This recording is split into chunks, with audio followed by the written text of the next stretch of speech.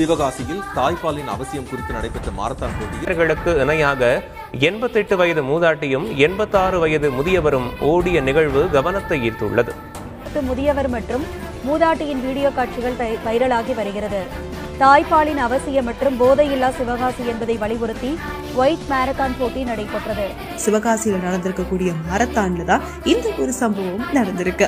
தாய்ப்பாலுடைய அவசியம் குறித்து விழிப்புணர்வு ஏற்படுத்தக்கூடிய வகையில சிவகாசி ஐந்து ரூபாய் பாடசாலை மற்றும் இந்திய மருத்துவக் கழகம் சிவகாசி கிளை இணைந்து மூன்றாம் ஆண்டு ஒயிட் மாரத்தான நடத்தியிருக்காங்க. இதுல பள்ளி மாணவ மாணவியர் உட்சொல்லி மொத்தம் அஞ்சு பிரிவுகளாக இந்த மாரத்தான் போட்டி நடந்திருக்கு. இந்த ஓட்டத்துல ரெண்டாயிரம் பேர் கலந்து கலந்துக்கிட்டாங்க. அது மொத்தான்ல கலந்துக்கிட்டு எண்பத்தெட்டு வயசான மூதாட்டியும் எண்பத்தாறு வயதான தாத்தாவும் கலந்துக்கிட்டு இப்போ இந்த போட்டியில ஒரு நல்ல விழிப்புணர்வை ஏற்படுத்தியிருக்காங்க. குழந்தைகள் இருந்து வயசான தாத்தா பாட்டி வரைக்கும் ரொம்ப எந்தோ மகிழ்ச்சியா பண்ணாங்க ஒவ்வொரு ஏஜ் கேட்டகரிக்குமே தனித்தனி கேட்டகரி மாதிரி வச்சிருந்தாங்க. அது ஒரு கலர்லாம் கொடுத்துருந்தாங்க. ரெட் எல்லோ கிரீன் பிளாக் அப்படின்னு. தண்ணி பண்றது அவங்களுக்கு தேவையான ஃபர்ஸ்ட் எய்ட் எல்லாமே